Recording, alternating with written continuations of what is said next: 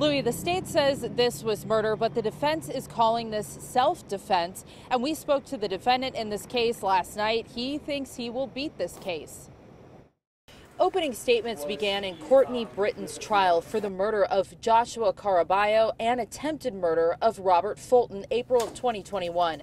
Britton's lawyer told the jury this began when he was robbed of a gold chain near Tiny's Liquors off Northwest 22nd Avenue in Miami, offering a demonstration as part of her opening. He says, Give me all your. You heard me. Give me all your. Tuesday evening, we sat down with Britton, who describes the moments leading up to the shooting. And he pushes it in my chest harder. That's how I know it was a gun. I felt the metal. He said, Give me all your. And then he popped the chain off that I had. That is when Britton says he got a gun himself. I unholstered and fired one round. His defense team says the shot was a warning. Mr. Britton was trying to warn them. Did you know at that moment that you had shot someone? No. You didn't know? Okay. No, no, no, no. The bullet hit the two men, killing Caraballo and injuring Fulton.